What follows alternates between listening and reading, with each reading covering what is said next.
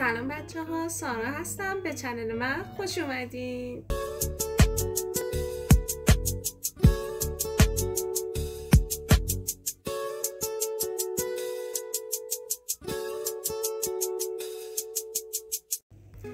بچه امروز می‌خوام راجع به سلین باتون صحبت کنم. این سلین نه این یکی سلین راجع به لوی فردیناند. دتوش می‌خوام براتون صحبت کنم. پزشک و نویسنده معروف فرانسوی که نام مستعارش سلینه به عنوان لوی فردیناند سلین میشناسینش. لوی فردیناند سلین کی بوده؟ لوی فردیناند سلین یک پزشک فرانسوی بوده که به صورت هنجار شکنی داستان می نوشته و اولین کتابی که از اون منتشر شده سفر به انتهای شب. سفر به انتهای شب. که مهمترین اثر لوی فردیناند سلین هم در ضمن سفر به انتهای شب.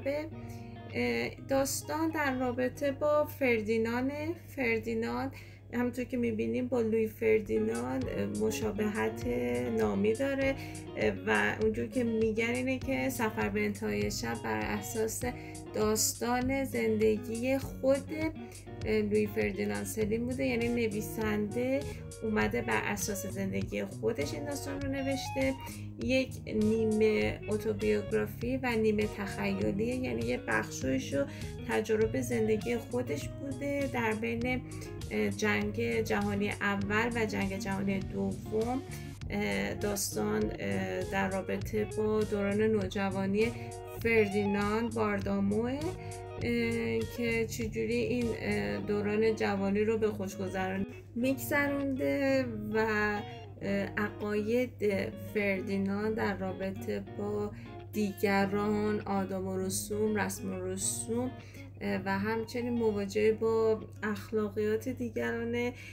یکم بد اخلاقه ولی خیلی روک و پرده صحبت خودش رو می‌کنه. این کتاب چندین سال تو ایران جز کتاب های ممنوعه بوده. چرا؟ به خاطر اینکه روی فردیناند سلین خیلی راحت حرف می‌زنه.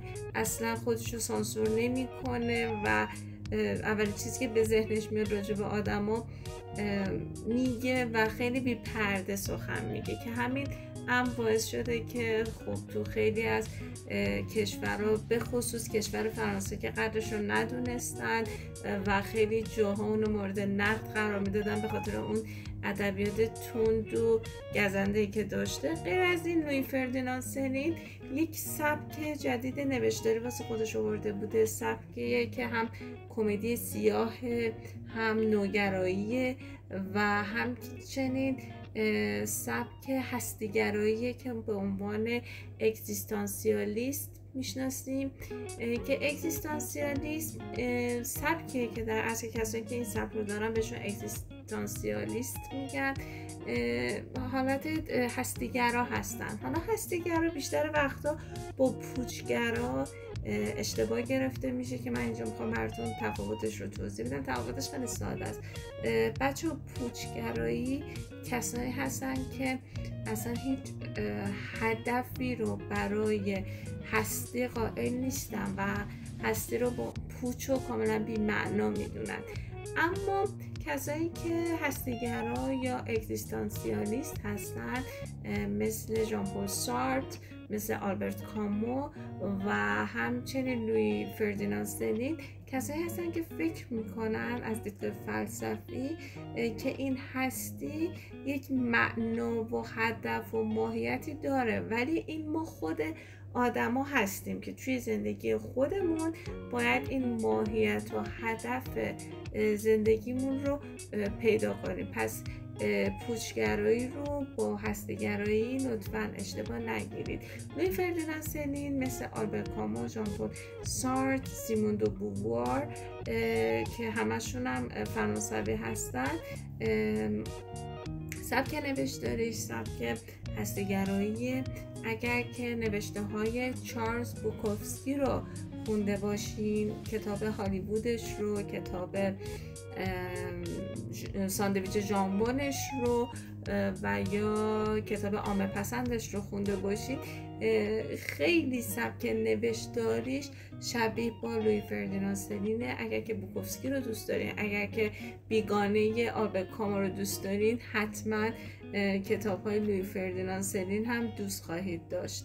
اولین باری که اسم لوی فردیناند سلین در ادبیات فارسی مطرح شد توسط جلال آل احمد بود که طبق گفته خودش تحت تاثیر کتاب سفر به انتهای شب یا Voyage au bout de la nuit لوی فردیناند سلین نوشته که رمان مدیر مدرسه خودش رو و غیر از اون استیو تولتز هم کتاب ریگ روانش رو اگر که کتاب ریگ روان رو خونده باشین که من خودم یک ویدیویی هم دارم راجع به استیو تولتز صحبت کردم اون کتاب خودش رو بر اساس این کتاب لوی فردیناند سلین نوشته و تحت تاثیر نگارش لوی فردیناند. سلین این کتاب رو نوشته از جنگ جهانی دوم. سلین مورد در خود فرانسه مورد هجو و انتقادات فراوانی قرار گرفته شد. به او تهمت فاشیست دادند و اینکه او یک نویسنده و هنرمند ضد یهودیه که کاملا خودش این رو تکذیب کرده چون انتقاد می‌کرده و همونجور که گفتم خیلی بیان تند و سریحی داشته شفاف صحبت می‌کرده. همین هم باعث شده بود که به او تهمت فاشیست بودن بدن که باعث شد که یک کم کمرنگ بشه و از او سخن به میان نیاد. در سال 1944 لوی فردیناند سلین وارد خاک آلمان نازی میشه به قصد سفر به دانمارک. و همجور که بهتون گفتم چون خیلی تحت تاثیر این شایعات و یهودی بودنش و ضد ببخشید ضد یهودی بودن و فاشیست بودنش بوده. بعد از اینکه وارد خاک دانمارک میشه از طرف مقامات فرانسه مجرم شناخته میشه در خاک دانمارک دستگیر میشه و اون رو زندانی می‌کنن به زندان میفته حدود چهار سال از عمر خودش رو در تبعید و در زندان به سر می برده که این چهار سال هم با, با نوشتن کتاب مختلف میگذرونده.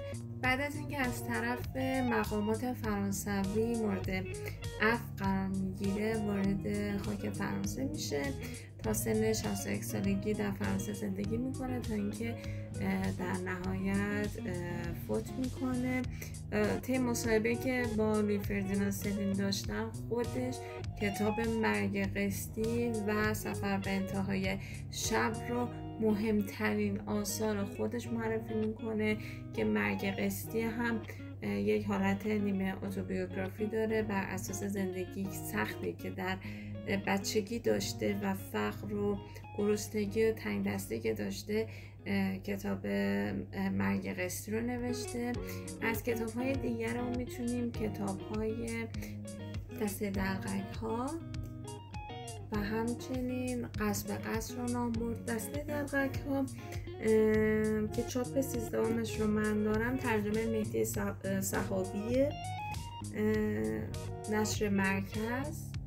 این کتاب هم داستان خیلی جالبیه راجع به جنگ و زنانی که نونآور خانوادن و مردانی که مشغول خوشگذرانی هستن. خیلی کتاب جالبیه که این کتاب هم بهتون توصیه می‌کنم حتما بخونید. هم که این ویدیو تونسته باشه اطلاعات جامع و مختصری رو در رابطه با لوی فردیناند سلین در اختیارتون قرار بده و شما رو ترغیب کنه که آثارش رو بخونید مرسی که تا آخر ویدیو همراه من بودین. اگر که کتابی از لوی فردیناند سلین خوندین حتما حتما تو کامنت رو بر من بنویسید. و اگر که خوشتون اومده و نظرتون در رابطه با لوی فردیناند سلین چیه خوشحال میشم با من در, در میون بذارید. ممنون میشم که با لایک subscribe و همچنین کامنت از من حمایت کنید. خیلی دوستتون دارم. فعلا